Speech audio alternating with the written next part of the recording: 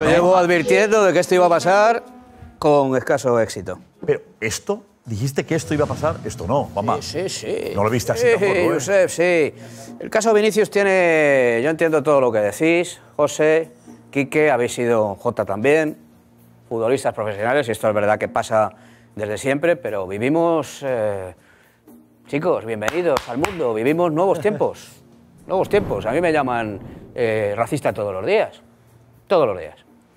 Eh, y a vosotros os decían cosas terribles en los campos de fútbol, pero la sociedad ha cambiado.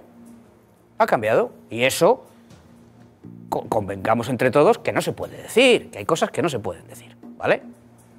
Y el caso de Vinicius yo creo que tiene una singularidad con respecto a otros casos, de otros insultos que se han proferido contra otros futbolistas durante mucho tiempo.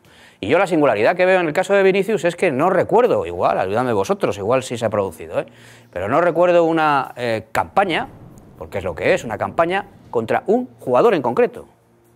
Contra- porque gente que va a un campo de fútbol a decir, eh, fulano tal, fulano tal, vale, sí, fulano tal, mengano tal cosa, pero van, van variando. Hoy fulano es tal, mañana mengano es tal, perengano es tal. ¿Vale? Van un poco distribuyendo, ¿no? Socializando los insultos, ¿verdad? Pero aquí los acapara uno. Y lo que yo veo es que este chico lleva sufriendo esto en España, en España, desde hace muchos años, mucho tiempo. Sí, en España, sí, sí, como comiendo y con la boca abriendo. En España, sí, sí. ¿Y los 15 años que ha venido Messi al Bernabéu?